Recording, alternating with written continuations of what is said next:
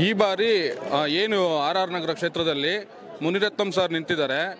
ಇನ್ನೂರ ಇಪ್ಪತ್ನಾಲ್ಕು M L ಎಗಳಲ್ಲಿ ವಿಶೇಷವಾದ ಎಂ ಎಲ್ ಎ ಅಂತಂದರೆ ಅದು ಮುನಿರತ್ನ ಸಾಹೇಬರು. ಯಾಕೆ ಹೇಗಂದರೆ, ಯಾರು ಸರ್ಕಾರಿ ಶಾಲೆಗೆ ತಮ್ಮ ಸ್ವಂತ ಸಂಬಳದಿಂದ ಯಾರು ಕೂಡ ಮಕ್ಕಳಿಗೆ ಏನು ಶುಲ್ಕ ಕಟ್ಟಬೇಕು ಅದನ್ನು ಯಾರು ಕಟ್ಟಿರಲಿಲ್ಲ ಇಲ್ಲಿವರೆಗೂ ಇವತ್ತೇನು ಅಭಿವೃದ್ಧಿ ಅಂತ ಕಾಣ್ತಾ ಇದ್ದೀವಿ ಸ್ಲಮ್ಮಿಂದ ಹಿಡಿದು ಪ್ರತಿಯೊಬ್ಬರಿಗೂ ಪ್ರತಿ ಜಾತಿ ನೋಡ್ದೇ ಪ್ರತಿಯೊಬ್ಬರಿಗೂ ಇವತ್ತೇನಾದರೂ ಸಾಹೇಬರು ನೇರವಾಗಿ ಸಿಗ್ತಾರೆ, ಮಾತಾಡ್ತಾರೆ ಕುಂದುಕರ್ತೆ ಕೇಳ್ತಾರೆ, ಆಮೇಲೆ ಅವ್ರಿಗೆ ಏನು ಬೇಕೋ ಅದನ್ನು ಸೌಲಭ್ಯಗಳನ್ನ ಒದಗಿಸ್ತಾರೆ.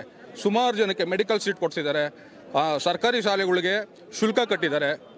ರೋಡು ಪ್ರತಿಯೊಂದು ಸೌಲಭ್ಯ, ಮೂಲಭೂತ ಸೌಕರ್ಯಗಳು ಏನೇನಿದೆ ಅದನ್ನೆಲ್ಲ ಮಾಡಿಕೊಟ್ಟವ್ರೆ.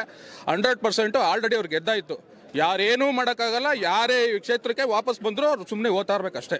ಯಾರೇನೂ ಮಾಡೋಕ್ಕಾಗಲ್ಲ, ಯಾರೇ ಈ ಕ್ಷೇತ್ರಕ್ಕೆ ವಾಪಸ್ ಬಂದರೂ ಅವ್ರು ಸುಮ್ಮನೆ ಓದ್ತಾ ಇರಬೇಕಷ್ಟೇ. ಇವತ್ತು ನಮಗೆ ಮುಖ್ಯವಾಗಿ ಬೇಕಾಗಿರೋದು ಒಬ್ಬ ಅಭಿವೃದ್ಧಿ ಪಕ್ಷ. ಅಭಿವೃದ್ಧಿ ಪಕ್ಷ ಯಾವುದು? B J P B J ಪಿಲಿರೋದು ಯಾರು? ಮುನಿರತ್ನಂ ಸಾಹೇಬರು.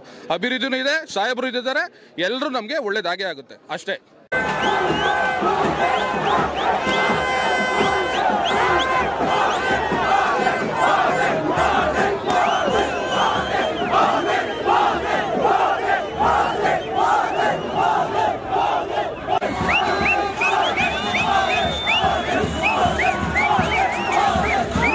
ಜೈ ಮುನಿರತ್ನ ಜೈ ಮುನಿರತ್ನ ಜೈ ಮುನಿರತ್ನ ಜೈ ಮುನಿರತ್ನ. ನಮ್ಮ ಅಣ್ಣನಾಗಿ ನೀನಿದ್ರೆ ಅಷ್ಟೇ ಸಾಕಯ್ಯ. ಇಂತಹ ಹಲವಾರು ವಿಡಿಯೋಗಳನ್ನು ನೋಡಬೇಕಂದ್ರೆ ಐಡಿಯಾ ನ್ಯೂಸ್ನ ಸಬ್ಸ್ಕ್ರೈಬ್ ಮಾಡಿ, ಶೇರ್ ಮಾಡಿ, ಲೈಕ್ ಮಾಡಿ.